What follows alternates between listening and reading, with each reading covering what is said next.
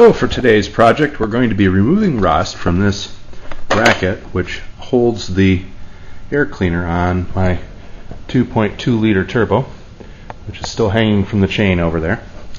Um, I got this bracket out of the junkyard for nothing basically and it's it's just a rusty piece of junk but uh, with a little luck we'll be able to use this electrolytic process to derust it.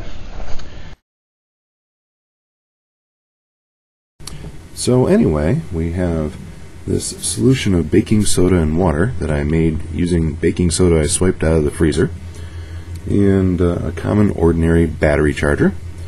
And uh, the battery charger's positive lead is connected to a sacrificial steel rod. Um, this is the anode. And the negative lead of the battery charger is connected to the steel part that needs to, to be derusted. Thing here is we just immerse the part to be derusted into the solution so that it doesn't touch the positive lead there and it's pretty much line of sight so we might have to flip it over and do the other side. Pretty quickly after I dropped the part in and turned the power on I started seeing bubbles coming up to the surface of the water which I understand some of them are explosive, they're hydrogen gas, so be careful, don't smoke. And uh, I guess this means that the uh, process of removing the rust is underway.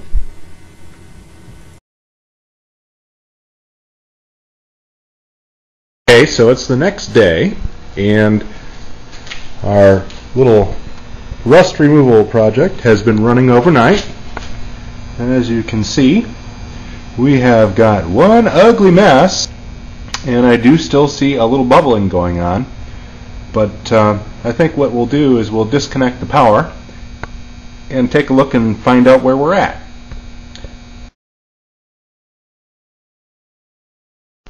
Okay, so the power has been disconnected, and we are now retrieving our steel bracket from the derusting electrolytic solution. And I'll be darned, it looks like we don't have anything really in the way of rust on this anymore.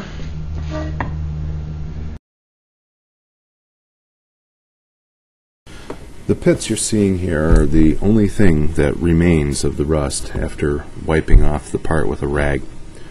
Um, the process can't put steel back onto a part that's been rusted. Whatever's been hit by the rust and destroyed is now gone, but at the very least, we have a part that can be cleaned up and, and refinished.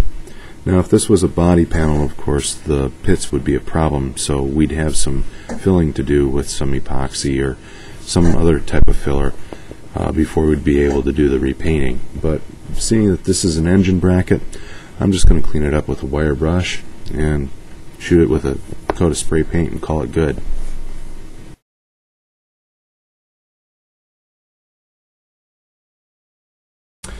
This is the finished product. This is what it looked like after I spent about 10 minutes with a wire brush and a drill motor. As you can see, the pitting is very evident where the rust was heaviest, but uh, we're down to shiny bare metal. Uh, most of the paint flaked off very easily after it had gone through this process. It was adhered pretty strongly, even uh, with all the rust before. And uh, basically, for an engine bracket, this is this is as good as it gets. I uh, will hit it with a little spray paint and bolt her up, and we're ready to go. That brings us to the end of this episode of Geoff's Science Garage. Thank you for watching.